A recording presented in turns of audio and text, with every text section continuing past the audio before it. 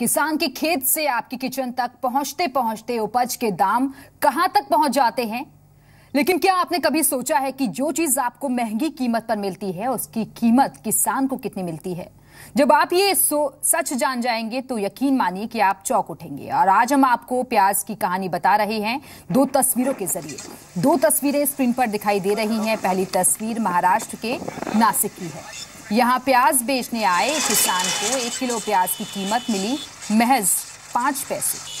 सोचिए, जो प्याज आपकी किचन तक पहुँचते पहुँचते 25 से 30 रुपए प्रति किलो हो जाता है, उसी प्याज को अपने खेत में पैदा करने वाले किसान को कीमत मिलती है महज पाँच पैसे प्रति किलो। दूसरी तस्वीर मध्य प्रदेश के शाजापुर की है। यहाँ अधिकारियों की लापरवाही से गोदाम और मंडी में रखा गया प्याज सड़ गया है। सोचिए, एक तरफ़ किसान को खून पसीने की एवज में महज पाँच पैसे प्रति किलो का दाम मिल रहा है तो वहीं दूसरी तरफ़ अधिकारियों की लापरवाही से प्याज सड़ जाता है और आम आदमी तीस रुपए प्रति किलो के हिसाब से प्याज खरीदने को मजबूर है।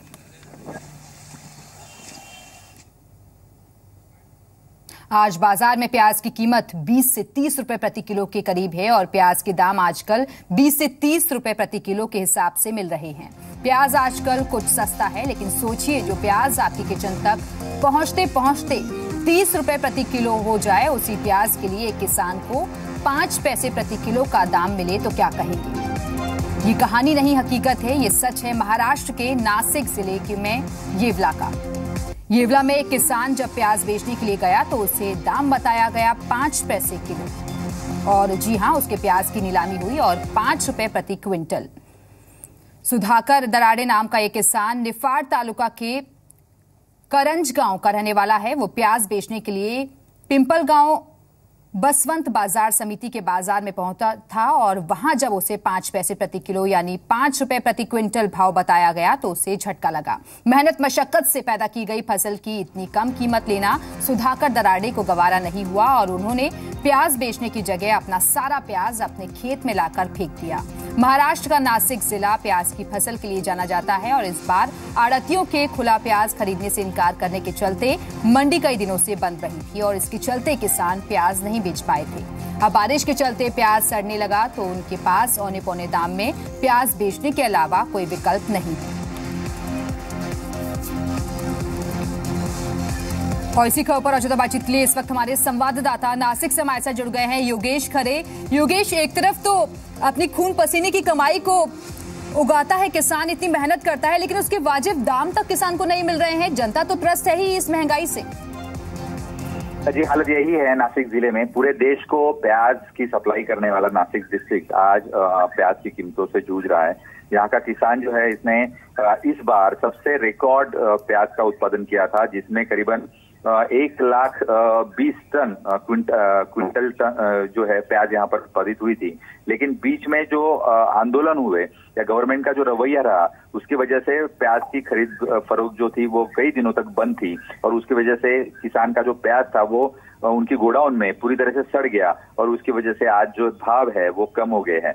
यही इसी किसान ने दो महीने पहले जब प्याज बेचा था तो उसको 400-500 रुपए प्रति क्विंटल भाव मिला था और आज ये पोजीशन है कि इसको पाँच रुपए प्रति क्विंटल से उसका प्याज बेचना पड़ रहा है। जी, चलिए बहुत बहुत शुक्रिया आपका योगेश इस जानकारी के लिए।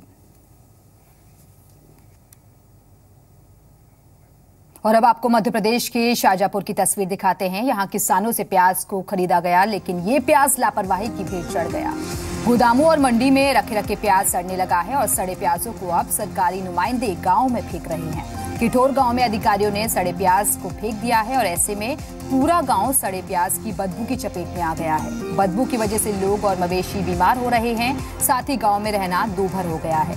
रायगढ़ ज़िले के करीब पचास हज़ार कट्टे प्याज सड़ गया है और अधिकारी शाजापुर ज़िले के किठोर गाँव में सड़े प्याज को डंप करा रहे हैं। लोगों का आरोप है कि जब अधिकारियों से गाँव में प्याज डंप नहीं करने की बात कही गई तो अधिकारी जेल में डालने की धमकी देने लगे। दरअसल शासन ने किसानों से छह रुपए किलो प्याज खरीदी थी, लेकिन अधिकारियों की लापरवाही से प्याज की सप्लाई दूसरी जगहों पर नहीं हुई और अब प्याज सड़ रहा है।